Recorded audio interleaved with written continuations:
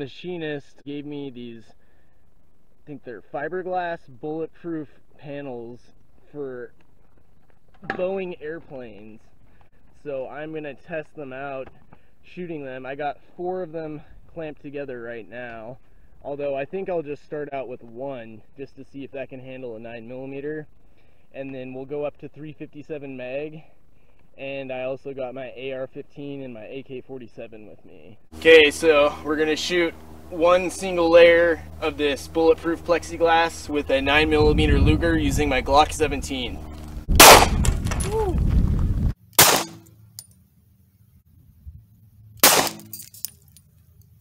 it went right through with both 9 millimeter bullets. Today we're gonna shoot 38 special at it with my Ruger GP100. Here's the first 38 special.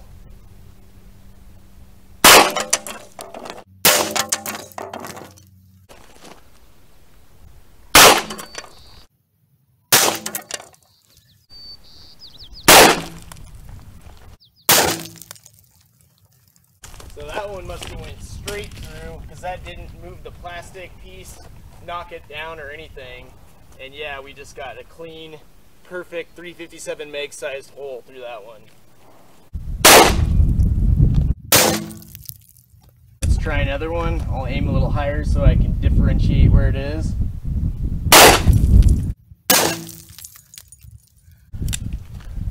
Not sure if I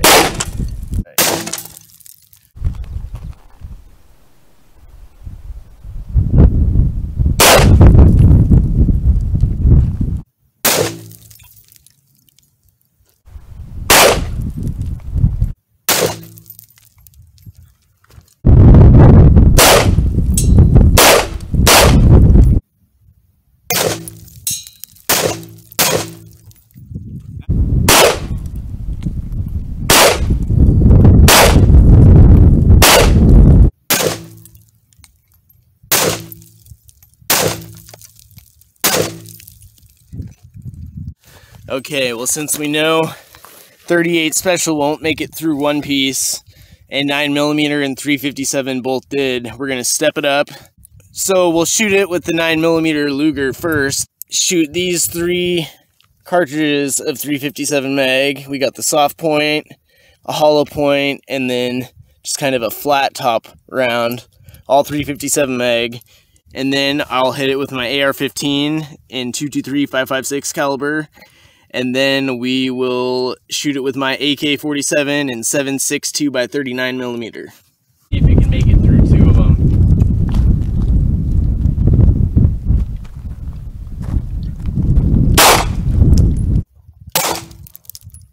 So it does not look like it made it through. Okay, here's a 357 mag hollow point.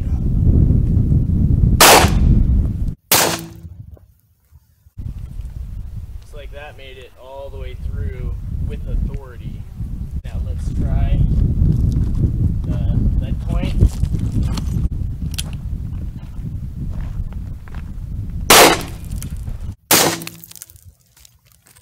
Looks like the lead point also made it all the way through.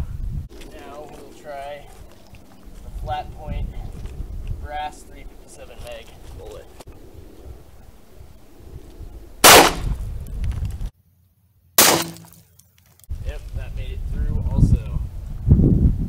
Two layers with my AK and with my AR.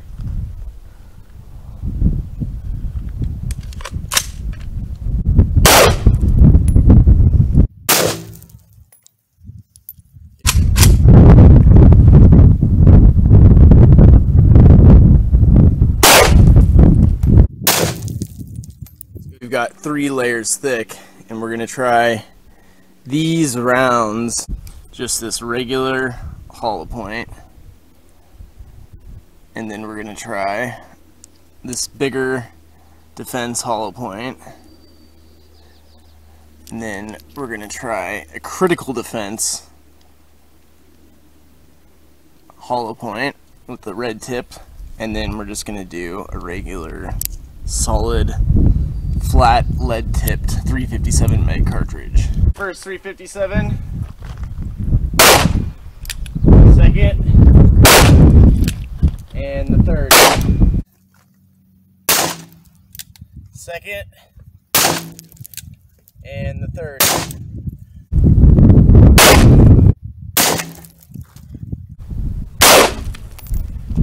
Do one more up top for good measure.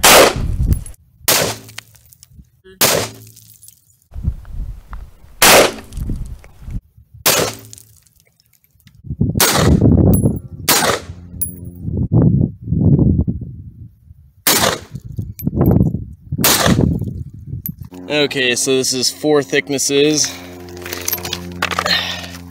And those two are the AR in the middle. And they made it all the way through, as you can see. And those two right there are the AK. And they also both made it all the way through, as you can see. So these clamps will only that I brought only hold four thicknesses thick of it, so we're just gonna have to call call it good there. So on this first sheet, these are all the rounds that we used.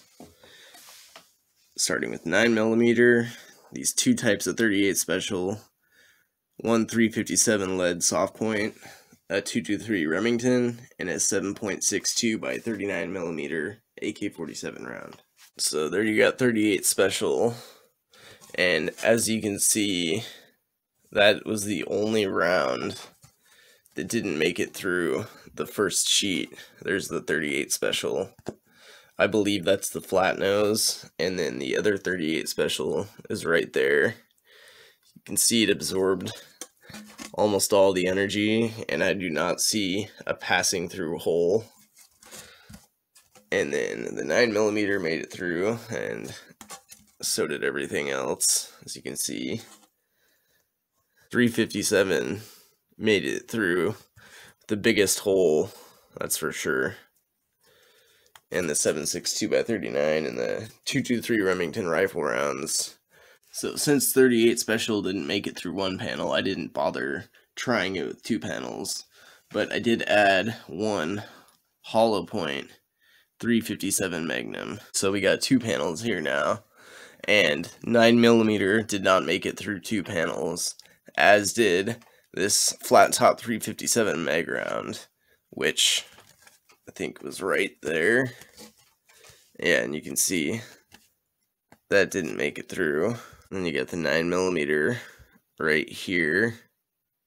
Flip it over, and you can see there's no passing through hole, and everything else made it through. So with three panels, since 9mm didn't make it through two, I just went ahead and I shot it with 357 Magnum and the rifle rounds, but this time I added one Hornady Critical Defense. Okay, so at three layers, this is where things got really interesting. And the only thing that made it through the two layers were the two rifle rounds. Now, I had these clamped together. The cool thing about this is four 357 Magnum rounds in between these pieces. And I haven't removed the clamps yet because I wanted to save it for the video. So I'm to go ahead and do that right now. So, oh wow, look at that. That's so cool. There's the marks on the plexiglass and look at all those rounds. Oh, that thing is stuck in there.